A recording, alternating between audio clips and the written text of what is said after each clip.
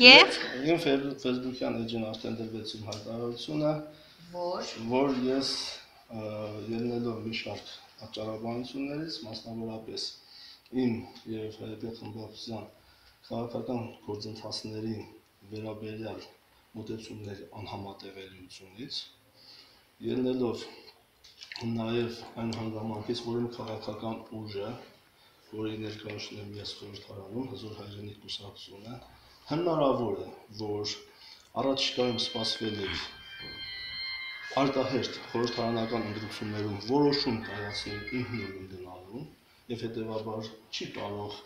մի կուսակցության փոխնախագահ, որը պատրաստվում է քաղաքական գործընթացների լինել մեկ այլ հանգամանքության կազմում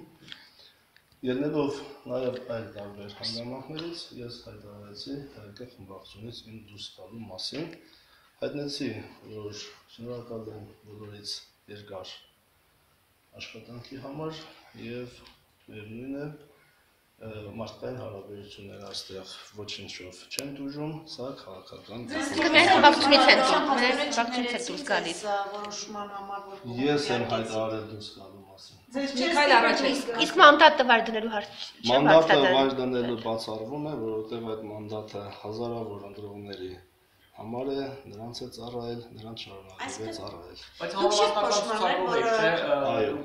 այսինքն հանրապետական կուսակցության շնորհիվ եք նաև խորհրդարանում։ Ես խորհրդարանում էի հազարավոր ընտրողների շնորհիվ։ Հենց այնպես ոչինչ չի։ Իսկ խմբակցությունը ըմբռնումով ընդունել։ Խմբակցությունը իր պատիվ իրեն ըմբռնումով մոտեցավ որևէ վեճ, որևէ վիճակահանություն, որևէ հակափաստակ, որևէ նեղացկոտություն, այդպիսի որևէ բան, որևէ դրսևորում չի եղել